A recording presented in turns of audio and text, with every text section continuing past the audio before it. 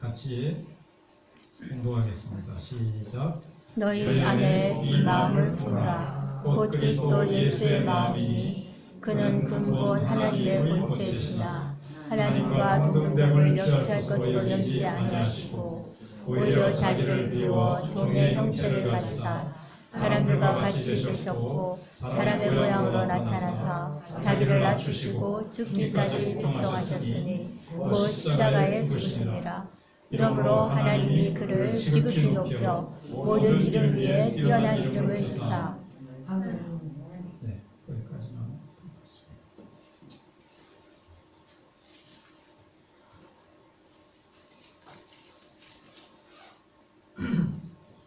겸손에 대해서 지난주에 이어서 아, 이제 두 번째로 생각해 보겠습니다.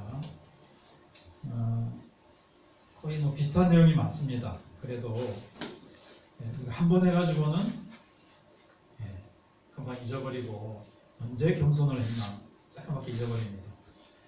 아마 12번 정도 할 것 같은데 12번을 해도요 아, 또 잊어버릴 거예요. 그래도 12번을 하면 한번한 것보다는 그래도 어, 겸손에 대해서 우리가 좀 더 생각해 보지 않을까 생각이 됩니다.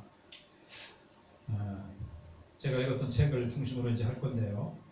어, 어떤 나무든지 이 그 뿌리에 닿아 있지 않으면 자라날 수 없습니다.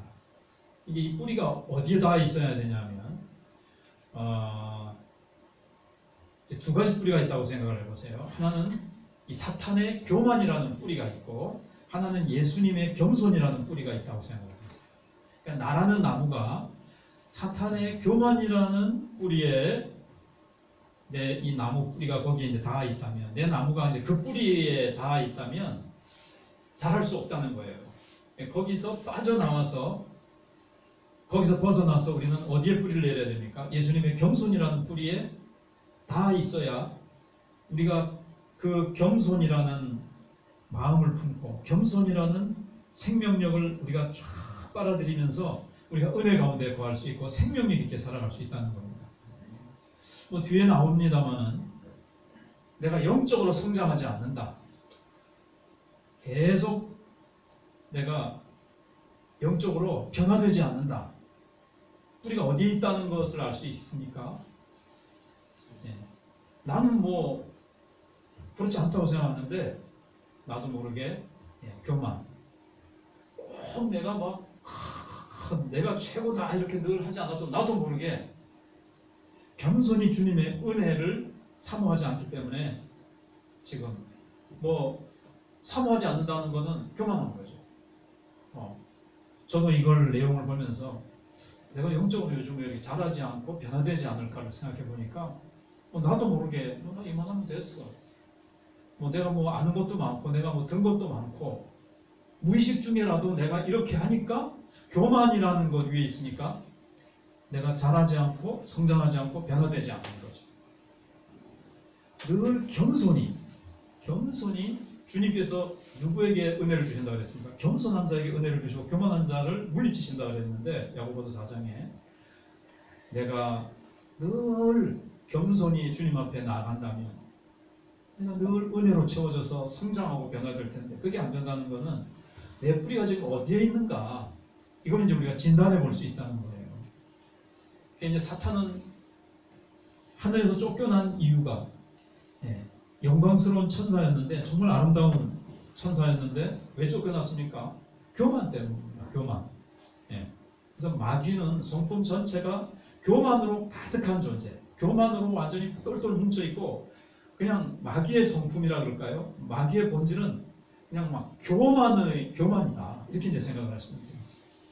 그러니까 마귀가 뱀을 통해서 하나와에게 아담에게 접근해 가지고 뭘 집어넣은 겁니까? 교만을 집어넣은 거예요. 너 하나님 같이 될 수 있어. 저거 따먹으면 하나님 같이 될 수 있어. 교만을 집어넣었는데 그게 바로 지옥의 독입니다. 지옥의 독. 지옥의 독은 뭐냐? 뭐 여러 가지 세분하지 말고 다른 것들은 이 교만이라는 뿌리에서 다 나온 열매요 가지라고 생각을 하면 되겠어요. 예.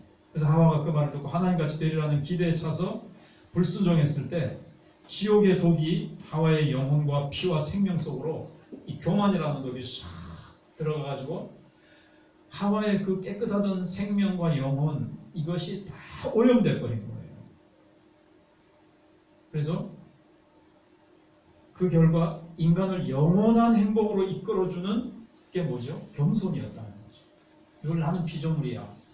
선악과는 나는 하나님이 아니고 나는 피조물이라는 것을 기억하게 해주는 늘 겸손의 자리에 있도록 만들어주는 게 이 선악과고 이게 선악과가 이제 보이는 하나님의 말씀이겠죠? 예. 근데 이제 그걸 이제 잊어버리고 교만이 들어가니까는 예, 그걸 이제 잃어버리게 된 거죠. 그리고 이제 믿음, 하나님을 향한 예, 이 믿음, 하나님을 향한 신뢰도 파괴되고 말았어요. 교만이라는 것이 영원한 행복도 파괴하고 영원한 생명, 하나님을 향한 신뢰, 예, 이것도 이제 파괴돼 버린 거죠. 그래서 하와는 하나님같이 되려는 욕심을 받아들이는 순간 자기 속에 있던 생명, 하나님이 주신 그 어, 귀한 생명이 사단이 이 뿌린 이 교만이라는 도구로 말미암아 뿌리까지 오염돼 버리고 말았습니다. 자기도 풍성한 생명을 살 수 있고 그 생명을 자산 대대로 물려주면 우리는 계속 예, 영생 공락을 누리면서 살 수 있었을 텐데 이 복된 생명이 다 사라져 버리고 말았죠. 이 교만이 가장 끔찍한 죄와 저주를 자기뿐만 아니라 자자손손 다 이제 물려주게 된 거예요. 예. 이 교만입니다. 교만이 시작이고 시작되고 이게 이제 출발이 되고 뿌리가 되어 가지고 온갖 고통, 저주, 심판 이런 게 오게 되는 거죠. 지금도 온 세상이 온갖 죄와 비참함과 고통과 질투와 야망과 전쟁과 온갖 것들이 피 흘림과 뭐 그렇잖아요. 그런 게 다 어디에서 출발한 거죠? 예. 어디에 뿌리를 두고 있는 겁니까? 교만입니다. 인간들이 다 이 죄의 뿌리, 이 사람은 이런 지 저 사람은 저런 죄, 뭐 박사방 엠번방이니 또 뭐 정모 씨, 최모 씨는 또뭐집 마취시켜 놓고 뭐, 뭐 어떤 죄를 짓고 또 누구는 정치적인 죄를 짓고 누구는 무슨 죄를 짓고. 하나님이 특별히 손보는 죄가 있어요. 뭐다 그렇지만 내가 왕이다, 내가 황제다 하는 사람들. 뭐 히틀러라든가 중국의 황제라든가 김정은 정권 같은 것도 그렇게 오래 가지는 못하는 게뭐 이유가 있어 또 하나님이 사용하시기도 하지만 네. 자기가 왕과 같이 군림할 때 하나님이 특별히 이제 손보시죠. 죄의 뿌리는 이 죄입니다. 아, 교만이라는 죄입니다. 그래서 구속, 이 구속은 구속. 경찰이 구속했다. 이거는 이제 하는 거하고 우리는 구속. 이제 노예 상태에서 어, 해방시켜 주는 거니까 반대죠. 예, 풀어 자유케 하고 해방하게 하는 것은 좀 길게 구속이고 경찰에게 구속됐다 하는 것은 오히려 딱 붙잡히는 것을 얘기하는 건데 예. 예. 우리에게는 구속, 뭐 구원이라고 생각하시면 되겠어요. 왜 우리에게 구원이 필요합니까? 예. 교만 때문에. 그러니까 우리가 어디에서 우리가 구원받는다는 것은 사실 교만이라는 죄에서 구원받아야 된다. 우리가 이런 관점으로 한번 보자는 거예요. 예. 우리가 죄에서 구원받는다. 그 죄의 본질이 뭐예요? 교만이죠. 예. 내가 하나님 같이 되려고 그러고 사람들이 거, 구원을 거부합니다. 복음을 전했을 때. 거부하는 건 뭡니까? 교만하니까. 나 계속 내 인생의 하나님이 내가 계속 하나님이 되고 내가 내 인생의 왕이 될 거야. 나 하나님을 왕으로 받아들일 수 없어. 결국 교만이죠. 교만이 그를 구원받지 못하게 하는 거죠. 그리고 교만이 정말 얼마나 끔찍한 본질을 가지고 있는가. 이걸 이제 깨닫지 못하면 성장이라는 게 없어요. 그러니까 우리는 교만, 그래, 교만 없어져야지. 교만을 뭐라 그럴까요? 얕잡아 보고 대충 아, 그래 그건 나쁜 죄야 이 정도로 봐가지고는 이 안 된다는 거예요.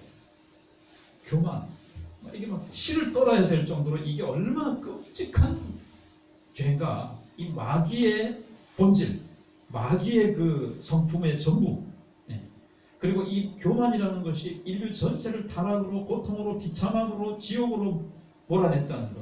그래서 이 교만이 얼마나 근데 우리는 이제 죄인으로 태어나가지고 태어날 때 교만을 가지고 태어났잖아요. 그리고 구원받았지만 아직도 교만하고 우리가 좀 많이 친하죠. 그러니까는 이 교만을 진짜 교만이라는 거 안 좋다는 걸 지 식적으로는 알고 있는데 아 저도 그래서 이 책을 보면서 제가 좀와 진짜 이 교만이라는 것을 잘 알아야 되겠구나. 역으로 얘기하면 겸손을 정말 잘 알아야 되겠구나. 이렇게 이제 생각을 하게 된 겁니다. 그래서 사탄이 지옥에서 가져온 게 뭐냐 가져와가지고 인간의 삶에 던진 이 뭐라 그래 폭탄 핵, 핵폭탄이 뭐냐면 핵무기 핵폭탄이 뭐냐면 이게 권세 있는 거거든요. 영적 권세인데 매일 매 시간 온 세상에서 강력한 힘으로 역사하고 있는 게 뭐냐면 교만이라는 거.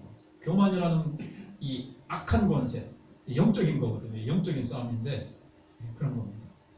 사단과 어떻게 보면 이제 성령께서 성, 이제 성령은 우리를 사로잡으시기를 원하시고 사탄은 우리를 또 사로잡으려고 하는데 뭘로요? 교만으로. 성령님은 예수의 마음, 겸손으로 우리를 이제 사로잡으시려고 그러죠.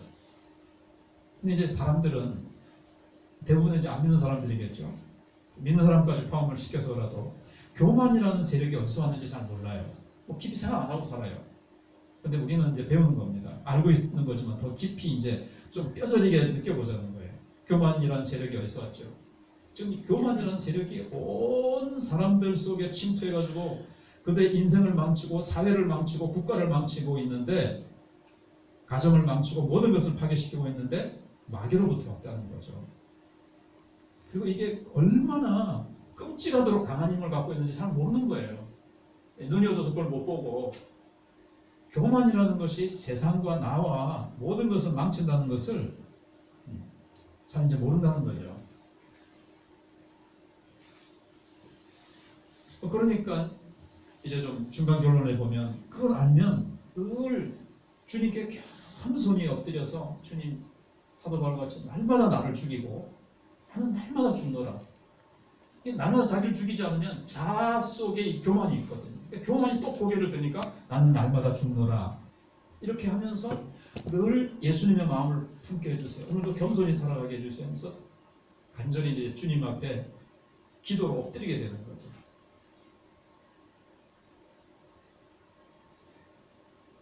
사단이 휘두르는 예, 이 교만의 권세를 어디에서 어떻게 극복할 수 있는지 사람들이 모르는 거예요. 자, 교만은 마귀로부터 왔다 그랬습니다. 겸손은요? 내 힘으로 아, 교만 물리치고 겸손해야지 이게 안 된다는 거예요. 겸손의 뿌리는 역시 예수님입니다. 그래서 그리고 이것은 영적인 싸움인데 내 힘으로 이 마귀의 교만을 뿌리 뽑고 물리칠 수가 없어요. 극복할 수가 없어요. 이걸 모르니까 내 힘으로 겸손해야지. 뭐 얼마 안 가서 또 나도 모르게 예, 교만, 교만 이렇게 되는 거죠. 교만을 너무 막 또막 음, 김정은이 같이 되는 게 꼭 교만이 아니고 필요 없이 산다. 주님 의지하지 않고 산다. 말씀 없이 살아간다. 예, 주님 의지하지 않고 내 힘으로 살아가는 게 교만이잖아요. 교만. 예. 그래서 교만은 어둠의 세력을 가진 사단에게 그 뿌리와 힘을 두고 있습니다. 예, 이게 이제 우리의 내면뿐만 아니라 외면에도 존재하는데 우리에 각처에 있다는 거죠. 그래서 우리는 먼저는 교만을 내가 교만했습니다. 예, 마귀로부터 왔지만 마귀 때문이야 이렇게만 하지 말고 예, 마귀가 심어주려고 해도 내가 물리치면 되는데 하와가 받아들인 것처럼 예, 교만을 내 자신의 것으로 고백하고 일단은 애통해야 됩니다. 애통해야 됩니다. 예. 지금 당장 막 이 시간 듣자마자 막 이게 막 절절하게 와닿지 않아도 그래서 이제 알아야 되겠죠. 뿐만 아니라 그 기원이 사탄에게 있음을 뼈저리게 깨달아야 됩니다. 이게 사탄으로부터. 사탄으로부터 온 거니까 이게 얼마나 더럽고 얼마나 추악하고 얼마나 이게 파괴력이 있는 것인가 네. 하는 것을 우리가 알아야 되는 거죠. 그래서 인간의 힘으로는 결코 교만을 정복하거나 몰아낼 수 없다는 걸 깨달아야 됩니다. 그러니까 여기서 내 힘은 안 된다는 걸 깨달아야 주님 앞에 나아가서 엎드리게 되고 주님의 손을 붙잡게 되는 거죠. 이걸 뼈저리게 못 느끼면 내 힘으로, 내 힘으로 교만을 물리치고 내 힘으로 겸손하려고 그러는 거죠. 안 되는 거죠. 네. 그것을 알고 절망해야 주님 나는 교만합니다. 나는 교만한 존재입니다. 주님의 겸손 너에게 주시옵소서 이렇게 해야 되는 거죠. 그래야 초자연적인 능력을 지니신 어린 양에게 나아갈 수 있습니다. 이 말씀을 준비하다 사울 예, 똑같이 범죄에서도 어떻게 보면 상대적으로 보면 다윗보다 훨씬 덜한 죄를 지었을 수도 있어요. 그러나 교만했기 때문에 하나님의 말씀 앞에 예, 꺾어질 줄 모르죠. 겸손하게 됐습니다. 다윗은 살인죄, 간음죄를 지었어도 나단 선지자가 와서 그게 바로 당신이 했을 때 그냥 하, 맞다고 인정을 하면서 주님 앞에 겸손히 나아갔기 때문에 그래서 이제 겸손이냐 이걸 가지지 못하느냐에 따라서 완전히 인생이 예, 천국이냐 지옥으로 왔다 갔다 하는 거죠. 그래서 우리 안에 있는 자아와 이 교만에 대항하려고 내 힘으로 싸워봤자는 도저히 가능성이 없다는 것을 먼저 알아야 어린 양 예수 그리스도의 능력을 우리가 받아들일 수가 있습니다. 그래서 바로 사탄과 그의 교만을 몰아나기 위해 우리는 하나님의 어린 양이 우리 마음에 가져 주신 하늘의 겸손을 우리가 받아들일 준비가 되는 거죠. 절망하고 나는 교만합니다. 나는 얼마나 교만한지 모릅니다. 예. 그래서 순간순간 이제 그래야 이제 내 교만한 모습을 보게 되고 죄 뿌리는 교만이고 예, 사탄에게 있음을 우리가 알아야 되듯이 아까 말씀드린 대로 역으로 말하면 생명과 능력은 둘째 아담이신 예수님 또 그분의 권세에 대해서 알아야 됩니다. 겸손 그러면 좀 약하고 힘없게 생각될 수 있잖아요. 근데 또 이 권세 예수님의 권세는 또 어디서 나왔겠습니까? 마귀의 파괴력은 교만에서 나왔다면 우리가 권세와 능력을 예수님의 겸손이에요. 겸손한 자에게 은혜를 주시고요. 겸손이 무엇을 만들어내냐면 이제 순종을 만들어내잖아요. 예수님이 죽기까지 순종하신 것은 겸손하셨기 때문에 성부 하나님의 명령을 나도 같은 하나님인데 이러지 아니하시고 완전히 성부 하나님의 그 말씀 앞에 순종해서 사람 되어 오시고 종의 형체가 되어 오시고 십자가에 죽기까지 순종하신 것은 그만큼 겸손하시기 때문에 죽기까지 겸손하시다는 것은 완전히 마귀는 교만으로 똘똘 뭉쳤다면 예수님은 겸손으로 똘똘 뭉치셨다고 할까? 그래서 나는 마음이 온유하고 겸손한 예수님 겸손하세요. 겸손. 네. 네가 죽어줘야 되겠다. 예. 그것도 십자가에서 그 수치스러운 죽음도 예. 우리 같으면 그거는 이럴 텐데. 아니 우리도 하기 힘든데 그분은 우리하고 비교도 안 되는 창조주시고 영광의 주님이신데 그 수치스러운 죽음도 그냥 영광의 하나님 그 자리를 내어놓으시고 죽기까지 복종하시는 그 겸손. 이걸 그러니까 겸손을 깊이 묵상, 묵상해 봐야 되겠죠. 그래서 나는 교만의 뿌리를 내릴 것이냐 겸손의 뿌리를 내릴 것이냐. 예. 그래서 교만의 왕이라 할까요 교만의 대장 교만의 왕인 마귀의 마음을 품고 사느냐 겸손의 왕이신 예수님의 마음을 품고 살 것이냐 이것은 이제 생각해 봐야 되겠고요. 우리는 첫째 아담이 아닌 그리스도와 연합해서 살아야 되겠죠. 그리스도와 연합할 때 더욱더 진정으로 생명력을 갖게 됩니다. 그래서 골에서 2장 7절에 그리스도 안에 뿌리를 박으며 아까 뿌리 얘기가 나왔죠. 그래서 골로새서에서 사도 바울은 그리스도 안에 뿌리를 박으라. 그래서 겸손, 점점 겸손이 자라날 때 영적으로도 성장과 변화가 오고 영적 권세와 능력도요. 예, 누구에게 권세와 능력이 소위 많이 나타날까요? 겸손한 만큼, 겸손한 만큼. 박태선이가 뭐 처음부터 어떻게 되는지 그거는 뭐 차치하고로서라도 그가 얼마나 처음에 능력이 많이 나타났다고 합니까? 근데 뭐 그게 막의 능력이었냐 처음부터 그거냐는 뭐 참 신학적 어려운 문제지만 처음에 그렇게 겸손해가지고 그렇게 성도들 신발, 주일학교 애들 신발 예, 이런 거 다 청소 정리하고 이렇게 그렇게 겸손했다고 하잖아요. 근데 이제 하나님의 능력이 엄청나게 나타나니까 이제 교만하니까 그 능력 떠나가고 이제 딱. 예. 그럼 이제 한번 구원은 영원한 구원 이건 어떻게 되냐? 이, 것 때문에 이제 신학교 어렵지만 아무튼 박태선이 떠나서도 많은 부흥사들이 그렇게 활동하다가 언젠가부터는 이제 소리 소문 없이 그냥 사라지는 경우들 아무튼 예, 겸손. 계속 겸손이야 하나님의 능력이 내게 계속 머물죠. 그래서 바울이 교만하지 못하게 하시기 위해서 가시를 두셨다 지금. 네가 약한 데서 온전해야지. 나 삼천절까지 갔다 왔어. 얼마나 바울이 교만할 수 있는 상황이 많습니까? 그러니까 하나님께서 그 교만하면 하나님의 능력이 함께 머무를 수 없거든요. 예. 그래서 네, 이거 있고요. 오늘 준비하면 다 하지 못하겠고 하나만 한 가지 정도만 더 하고 이제 기도 합니다. 어, 예. 일단 구원이라는 것은 그러니까는 구원을 잃어버렸다는 것은 큰 게 뭐냐면 하나님의 형상을 잃어버린 거죠. 우리가 인간이 하나님의 형상대로 지음을 받았습니다.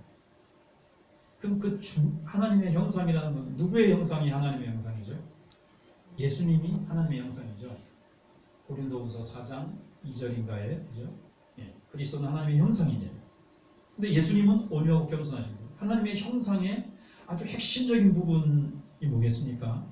겸손이죠. 예수님, 예, 예수님의 그 겸손하심. 그 구원은 파괴된 하나님의 형상이 회복되는 겁니다. 그러면 하나님의 형상이 회복되는 것이 구원인데 음,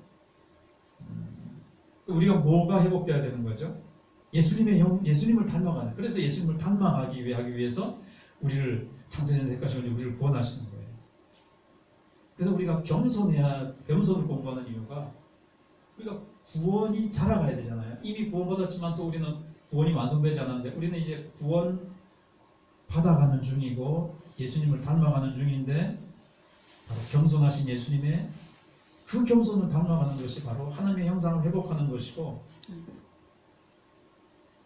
예.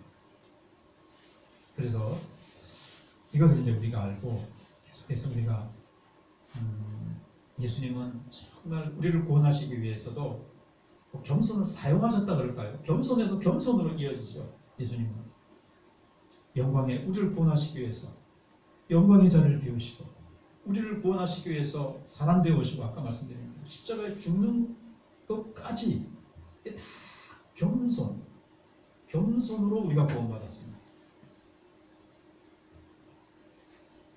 그리고 우리도 구원받는 데 있어서 겸손, 겸손의 형상, 겸손의 마음, 예수님과 같은 겸손을 본받아가야 됩니다.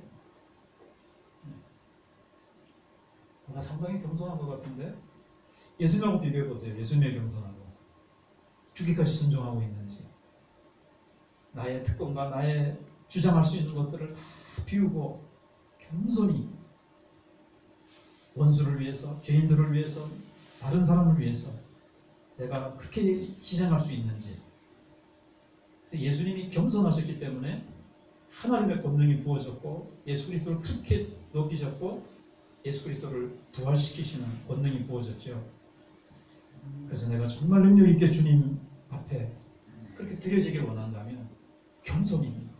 겸손이 낮아질 때, 겸손이 낮아질 때, 겸손한 것만큼 우리가 엎드리게 되고 기도하게 되고 주님을 의지하게 되죠. 그러면은 이제 제가 예, 중간쯤 한 것 같, 반쯤 이제 했는데 어, 이쯤에서 우리 한번 붙잡고 기도했으면 좋겠습니다.